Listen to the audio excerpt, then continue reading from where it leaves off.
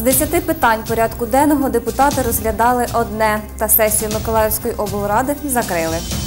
Ви дивитесь новини на ЮА Миколаїв. В студії працює Ніна Булах. Добрий ранок.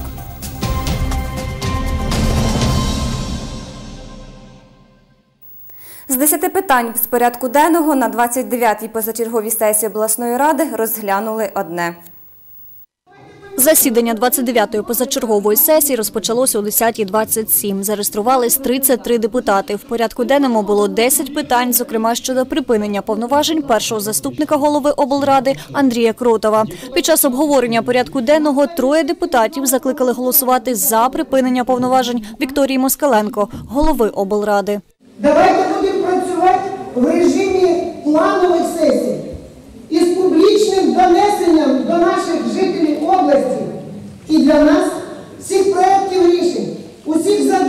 ми ставимо перед собою і вирішуємо.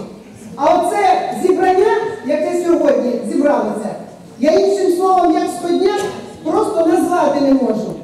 Есть предложение полностью Є пропозиція повністю переформатувати обласну раду, зняти голову обласної ради, яка нагадаю не звітувала перед нами, перед вами тривалий час, та поставити питання про звітність, тому що не знати і готувати звіт два з половиною роки це напевно неправильно.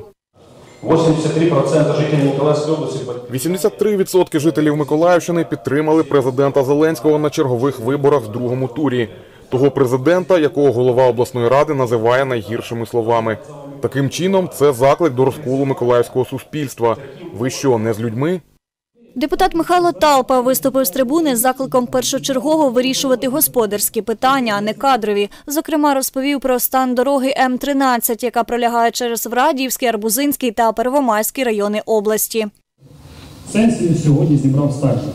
Саме він виступив ініціатором збіру підписів е, голосів за відставку сторону. І він цю роботу робив спочатку пофракційно.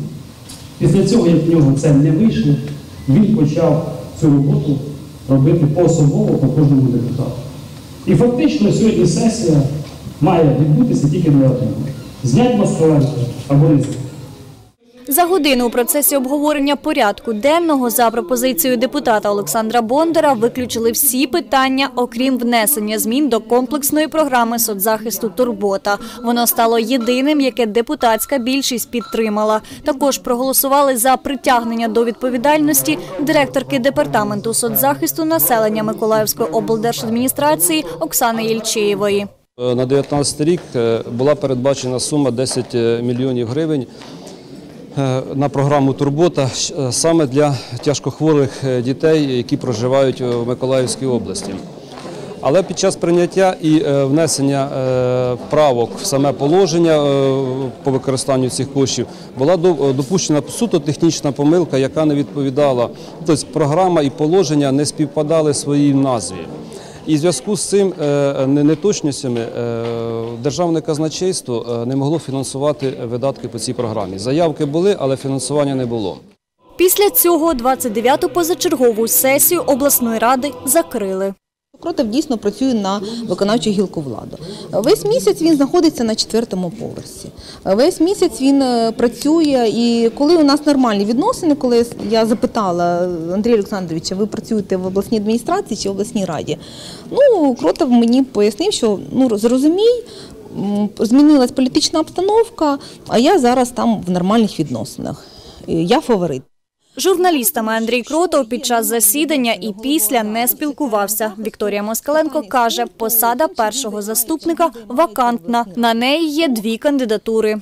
Я сьогодні хотіла внести пропозиції по пропозиції Сатридінова Тахир Шамсидинович. Це у нас вакансія, перший заступник, і також е, Катріч Анатолій Петрович, це депутати. е, Катріч Анатолій Петрович, це депутат вже декілька скликань, проявив себе як людина порядна і його підтримують колеги. І також е, з Європейської солідарності, і також е, Тахір Шамсидинович, це фракція наш край, його порекомендували, і я погодилася з цією пропозицією. Катерина Максименко, Ігор Чорний. Новини на Суспільному. Миколаїв. І це була остання інформація на цю годину. Наступний випуск новин дивіться о 8.30. А я передаю слово у студії нового дня. Залишайтеся з нами.